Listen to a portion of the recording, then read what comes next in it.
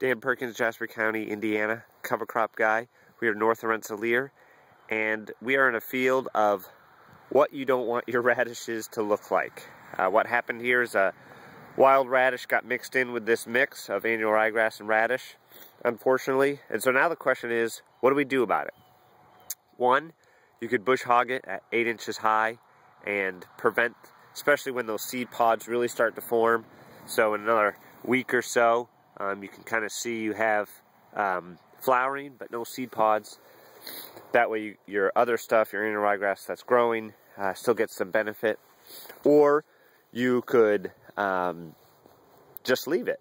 And given that this is Roundup ready uh, crop rotation, uh, radish has no problem killing that, um, or something like Callisto, uh, or whatever you use in rotation. It's fairly easy to kill. But this will produce hard seed and um, this is not how it's supposed to look. So it's really a management choice and aesthetic choice. Dan Perkins, Jasper County, Indiana, cover crop guy.